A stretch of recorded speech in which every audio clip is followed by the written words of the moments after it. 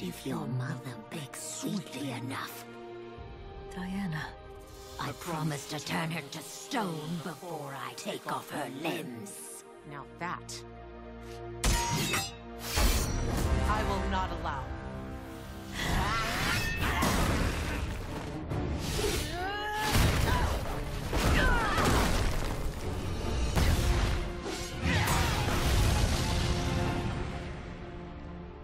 Close the gates.